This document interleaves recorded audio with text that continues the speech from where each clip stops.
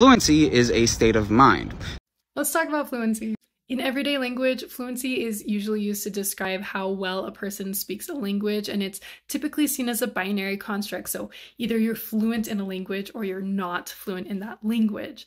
However, in linguistics, this term fluent or fluency has a very specific meaning. And actually, there are several different conceptualizations of what fluency is, even within linguistics. So I'm just going to give you one of these ideas.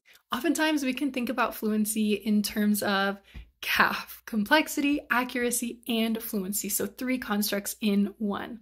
We have complexity, which is how advanced or sophisticated someone's language is. That encompasses things like lexical diversity as well as grammatical complexity and things like that.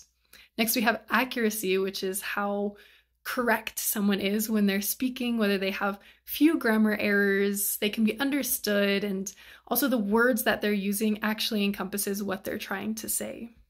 And then finally, the last construct is fluency. The concept of fluency in this world is how clearly and quickly you're able to convey your ideas. So, if you're speaking at a speech rate that's appropriate for the language that you're learning, if you're using few pauses, if you're not backtracking and repeating things too much, then you would be considered more fluent.